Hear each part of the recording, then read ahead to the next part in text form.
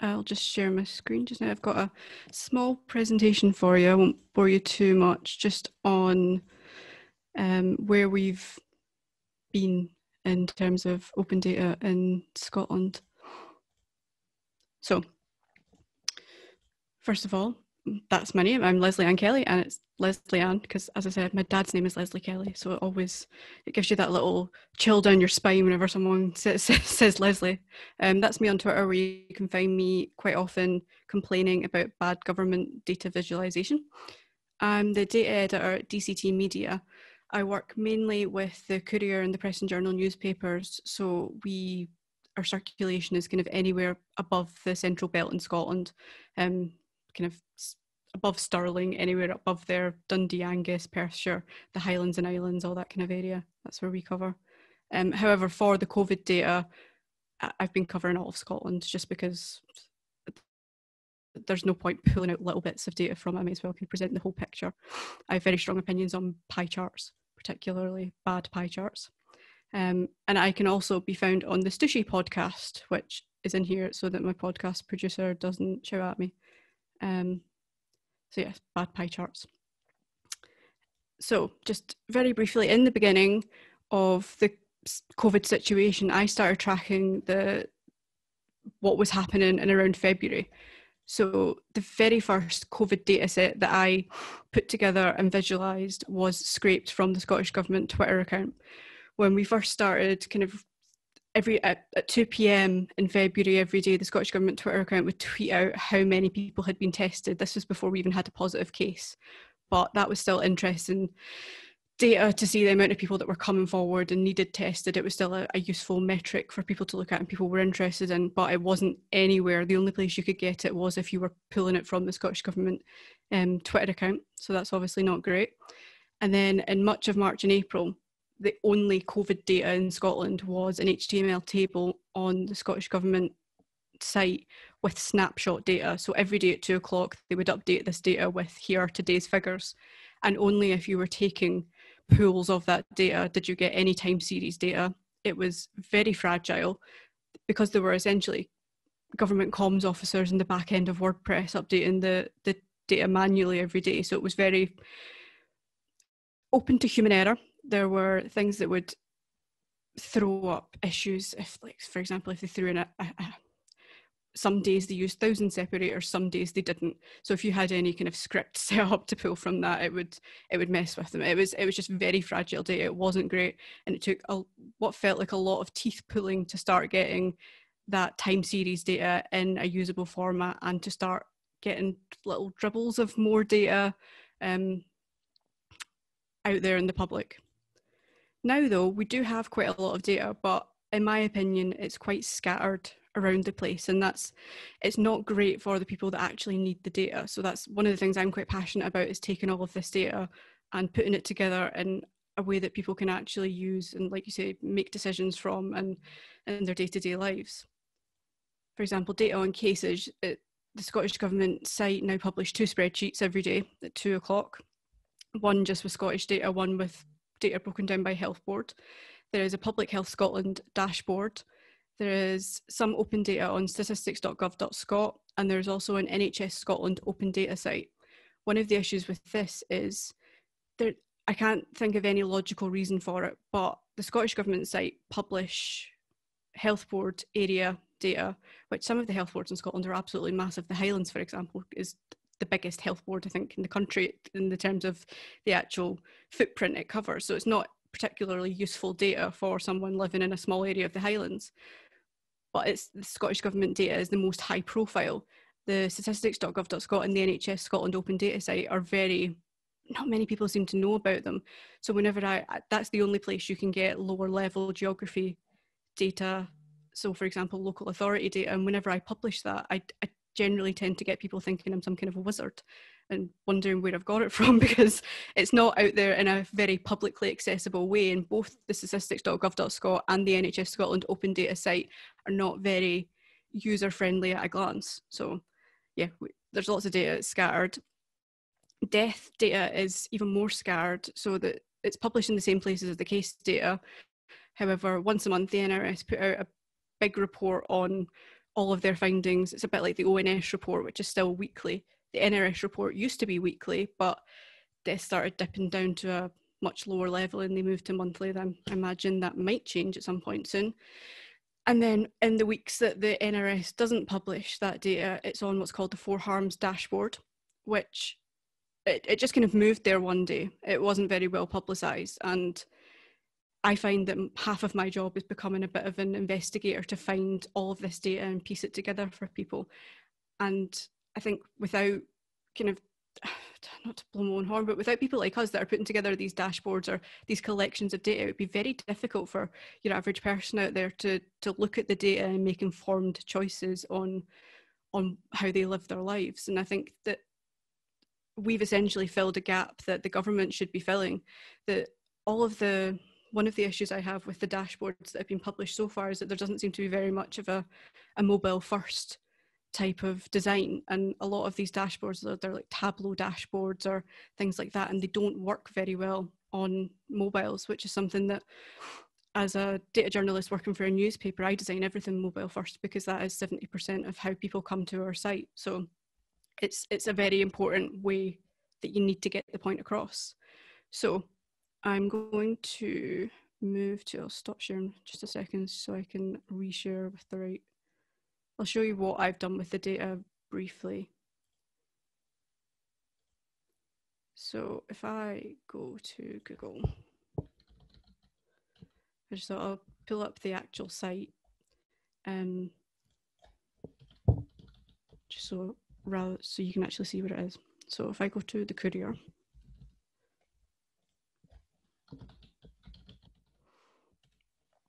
this is where you can find all of the data I've pulled together. It's on the Courier, it's on the Press and Journal. I think it's on the evening titles as well.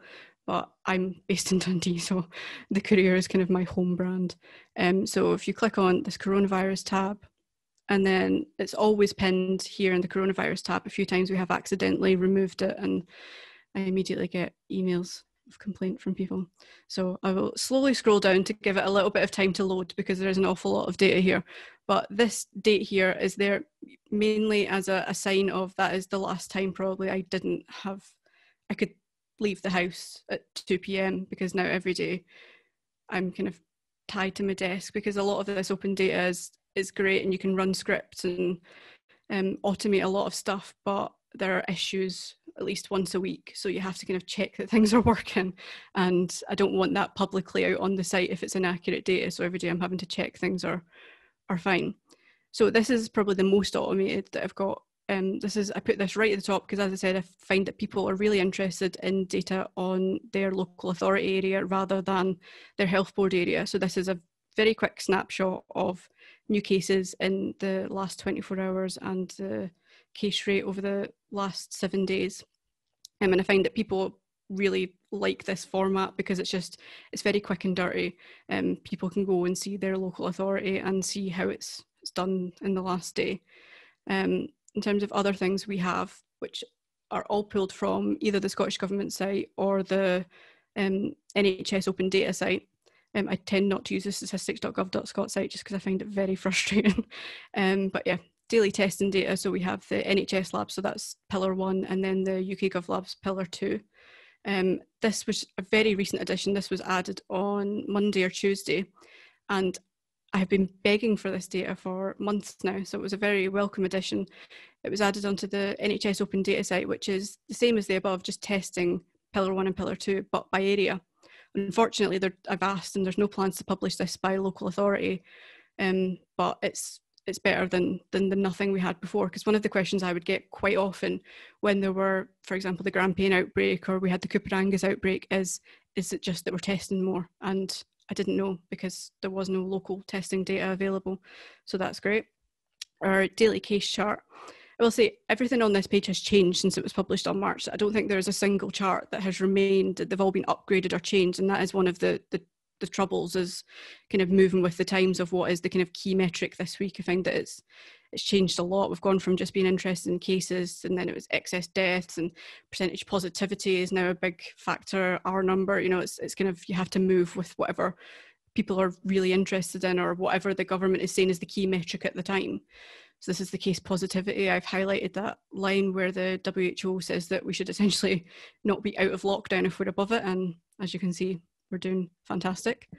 Um, this was something I added fairly recently as well when there was the more publicised university outbreaks. Um, talking about the kind of clusters in the 15 to 19 age group, you can see in um, the first wave, they were very, very unaffected by the virus and a lot of that was probably due to we weren't testing them because they weren't presenting in hospital and in the first wave we weren't we were really only testing people that were very sick but it, it shows that cluster becoming an issue when universities reopened and what it also shows for me is that cluster kind of dripping downwards. It's the kind of what I call the taking it home to granny effect.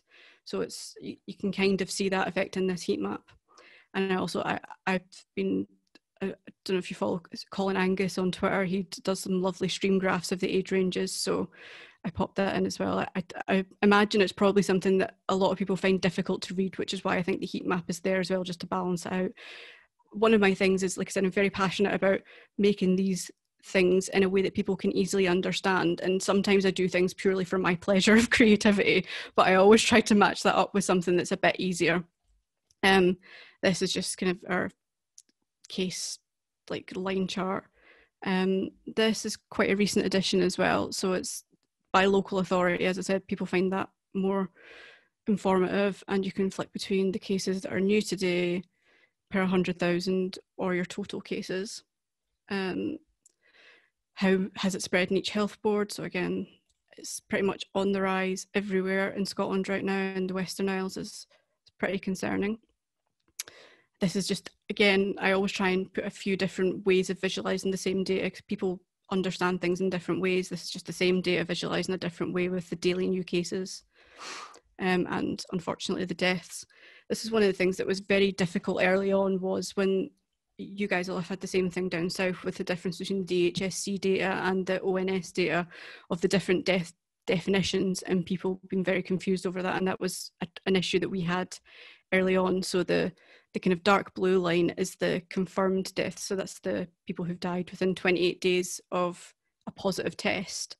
Um, and the kind of teal line is the NRS data. So that's where the death has been noted as a contributory factor on the death certificate and people get very confused over this. So that's why i think it's important to have it in the same chart and have the kind of definitions in there so that people can try and get their head around it. They're, they're different measures um, and they're both helpful in their own way um, deaths by fatality um, deaths by health board and we've also got it by local authority. This doesn't get updated as much nowadays because we don't get that data as often. The NRS publish this data and it's only once a month now. This is an interesting one. This is the lowest level of geography that we've had available in Scotland. I understand that you guys have had MSOA data for a bit longer than we have, and this is kind of the equivalent of that. Um, it's called intermediate zones in Scotland. The only data that's been published on this is deaths by intermediate zone published by the NRS and it only gets published again once a month, if that. Um, there is recently been published on the Public Health Scotland Tableau dashboard. They've published cases by intermediate zone, which is great, but from what I hear online, nobody uses that dashboard because it's very cumbersome. And as I said, doesn't work well, doesn't play well with mobile, and people just they find it difficult to navigate. So I have spoken to Public Health Scotland and they are they've told me getting their hands on some of the data to publish on the open data site. So as soon as I have more data at that level, it will be on here as well. Um, some data on age ranges. The, the further you go down the site, it, it's probably the less updated data. It's probably more the monthly updated data. I try and kind of have the daily updated figures closer to the top because that's what people are interested in. So this is um, by population density of the health boards in Scotland. Um, and this is this is an important one that I should probably push further up the site just now because it's become more recently important is hospitalisations and intensive care. And you can see one of the issues with this was on the 11th of September, the Scottish Government changed the definition. I don't know, there was a bit of a, a with um, Carl Heneghan published from the Centre of Evidence Based Medicine criticising the Scottish and Welsh governments and said that they were overcounting the way that they categorised um, COVID hospitalisations, and there was a bit of substance to it. So the government went away and recategorised. Essentially, back here, it was anybody who was in hospital who'd had a positive COVID test, and they may no longer be treated for COVID. They were still categorised as a, a COVID hospitalisation. And later on, that that became a bit problematic because the definition apparently I didn't realise this until the change. I don't think they said this until they changed it, but one of the issues was that someone could go into hospital with COVID, come out a week later, be out of hospital for a week, get hit by a bus. It's always the example of being hit by a bus. I mean, how many people are hit by a bus? But that's what we always say when we're talking about these things. Get hit by a bus, be back in hospital, and they would be re-added to the COVID hospitalizations count because they'd had a COVID test in the last 28 days. So that that wasn't great. The number from here with this line is the new methodology where it's just people being treated for COVID in hospital, there is still a 28 days factor on that. And we know from experience that there are people who have been in hospital for a lot longer. So even this new methodology is problematic, but it's been rising sharply again in the last few days. It's been, yeah, it's not great. And these are weekly death figures of um, where the deaths have happened, and you can just about see that there's been an uptick uptick in the deaths in the last last few weeks. I have one chart on cases by cases and deaths by deprivation because um, there's not a whole lot of data on that. Um, I know bar chart races are a bit. There's a, a, lot of people don't like them, particularly for COVID data. But I this seemed to do well. Um, people seem to like this on social media for showing when the COVID had fallen back down the ranks of the leading causes of death in Scotland. So it's quite a good visualization for that. The R number, which again has not been doing great. And then this is the only bit where I dive into any ONS data. So I weekly I do pull the ONS and NISRA data on the excess deaths just to just to put this chart together to to show how we're doing with the rest of the country. And I do daily pull from the data.coronavirus.gov um, just to put the cases into context with yes we're, we're doing badly but the peaks are at the same time everywhere. It's, it's a uk wide widespread. And this is the last chart i've got which is weekly confirmed and suspected deaths per million population. It was just something someone had requested and i must have been feeling charitable that day. So i added it onto the site. So yeah feel free to go away and have a look at the site and give me any feedback you have. If there's anything you think i'm missing a trick on or anything that you find helpful or unhelpful. Um, I think the site's actually loaded quite well today. It can be pretty slow because there's a lot of stuff on here. Technically, this is all done within Flourish, which I don't know if you've heard of. It's a, a data visualization tool. They are very good in newsrooms. The, one of the co-founders was a Guardian journalist, I believe, um, and so they have a passion for journalism. And as part of the Google News initiative, they have funded. They give. It's not a a pro account per se, but they give extra enhanced accounts to newsrooms for free, which is absolutely great. So everything that's on the site is we've we've been able to do for free, which is is great. Most of it, or as much of it as possible, pulls from the open data. I find I have to kind of run a lot of things via a Google Sheet, which is frustrating to do some extra calculations or to kind of do things like in the when this data was first published, they didn't publish the actual area names, it was the area codes. So I then had to kind of run that through an intermediary to, to match up the codes with the names because if I just publish that with codes, people don't have a clue what that means. But yeah, as much as possible is automated. But as I said, not a day's gone by since the 18th of March that I haven't had to look at the COVID data and check that everything is running appropriately and as it should. It's it's become my life now. I have said to the people at Public Health Scotland that I hope they are putting some funds away to fund all of the post traumatic stress that all of the people who've been visualising COVID since March. When it when this is all hopefully over, when it comes to two o'clock and we start getting the the palpitations of oh god, I've got to go check the stats. So hopefully one day I won't be won't be checking all the COVID yeah. stats at two p.m. every day. But for now, that's my life.